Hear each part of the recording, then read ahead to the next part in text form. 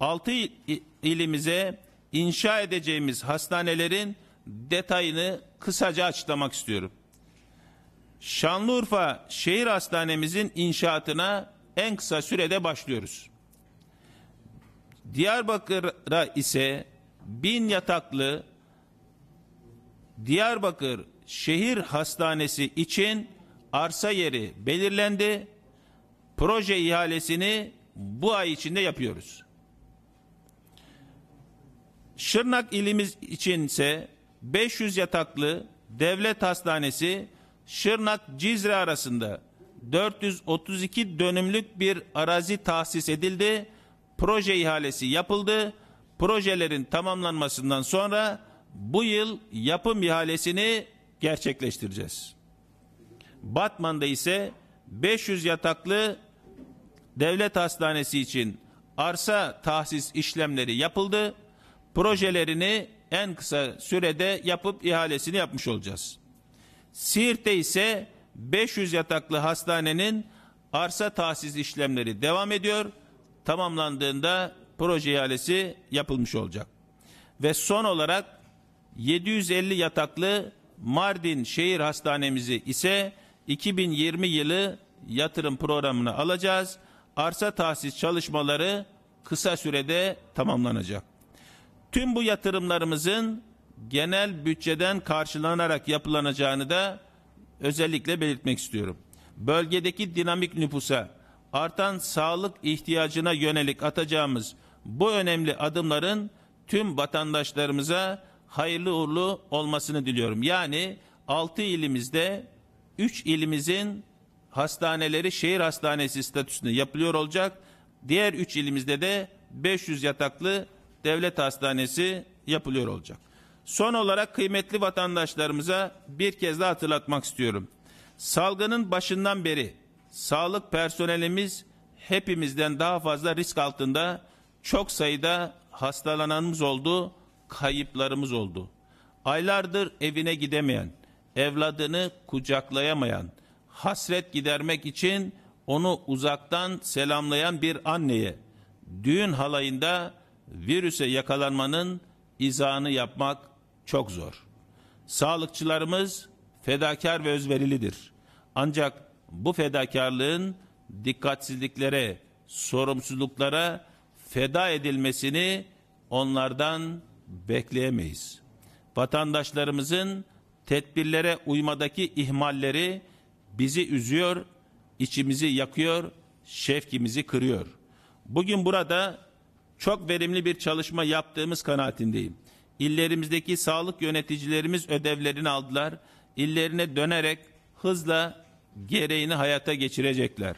Biz de bu çalışmaları destekleyecek imkanları onlara sağlamak üzere üzerimize düşeni yapacağız. Ancak burada tekrar hatırlatmak istiyorum.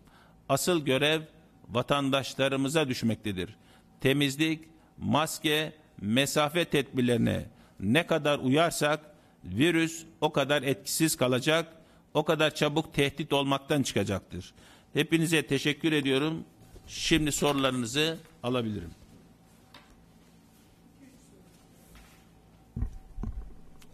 Evet. Sayın Bakanım, Demirören Haber Ajansı'ndan Mehmet Mücahit Ceylan. Ee, izolasyon kuralını ihlal eden pozitif ve temaslı kişilerin olduğunu biliyoruz. Bunların tespiti halinde idari para cezaları kesiliyor. Ee, vaka sayılarını artıran bu duruma ilişkin daha ağır yaptırımlar gündemimizde var mı? Teşekkür ediyorum. Özellikle vatandaşlarımızın bu dönemde izolasyon kurallarına pozitif olan ve de temaslı olan kişilerin hassasiyetle uymalarını çok önemsiyoruz. Salgında en büyük özellikle üzerinde durduğumuz konu. Bununla ilgili il İPSA kurullarımızın bu anlamda aldığı kararlar valilerimiz başkanlığında her ilde ve uygulanması gereken cezalar da belli. Bu izolasyonların ceza ile çözülmemesi gerekiyor. Bu konuda bir başkasına virüsü bulaştırmanın bir hak olduğunu biliyor olmamız gerekiyor.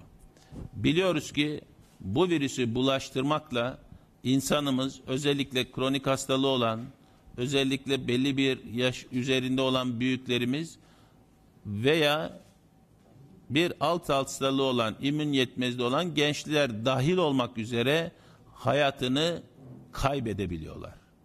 Buna asla sebep olamayız ve olmamalıyız. Ve bunu ceza ile önleyebilecek bir noktada da olmamalıyız. Ama buna rağmen İLİPSA kurullarımız bu anlamda gereken e, kararları alıp uygulamada da bunun gereğini kolluk kuvvetleri zaten yapıyor. Bu anlamda İçişleri Bakanlığımız çok yoğun aktif devrede. Bunun son olarak devreye girmesini, bu noktadaki karşılıklı birbirimize e, birbirimizin hakkı olduğunu, bu virüsü bulaştırma noktasında e, hassasiyet e, göstermemiz gerektiğini, bulaştırmama noktasında hassasiyet göstermemiz gerektiğini artık biliyor olmamız gerekiyor. Teşekkür ediyorum. TRT Haber'den Onur Altan. Sayın Bakanım ben bir soru soracaktım. Salgın süreci boyunca sağlık çalışanları çok büyük bir özveri gösterdi. Ek ödemelerin devamıyla ilgili daha öncesinde bir açıklamanız vardı. Bununla ilgili detaylar netleşti mi? Bir de ayrıca aile hekimleri için herhangi bir düzenleme olacak mı? Teşekkür ediyorum. Özellikle bu dönemde çalışan bütün sağlık e, sağlıkçılarımız, sağlık çalışanlarımız yoğun özveri ve fedakarlık içinde bulundular. İzinleri olmadı. Evlerine gerektiğinde gidemediler. Bunun karşılığını bir ödemeyle yapmanın e, bir karşılık olarak e, görünmenin yeterli olmayacağını düşünüyorum. Ama buna rağmen imkanlar ölçüsünde aile hekimlerimiz de bu süreçte özellikle filyasyon dahil olmak üzere yoğun bir gayret içinde oldular.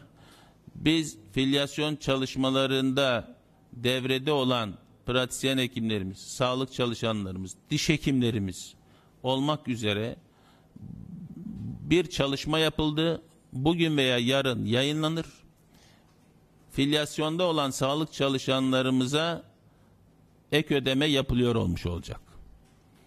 Bununla ilgili çalışıldı. Ayrıca aile hekimlerimiz içinse yine benzer şekilde salgın dönemindeki COVID'li hastalarla ilgili e, yaklaşımları bir çerçeveyle e, düzenlenerek ek ödeme getirilmiş oldu.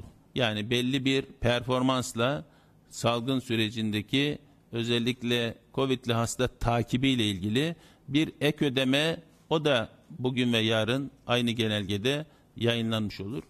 Bunun dışında çalışanlarımızla ilgili genel anlamda sağlık kuruluşlarda çalışanlarımızla ilgili bir ek ödeme çalışması yapıldı.